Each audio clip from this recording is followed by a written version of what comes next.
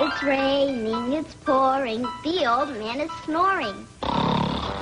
He went to bed and bumped his head. And couldn't get up in the morning.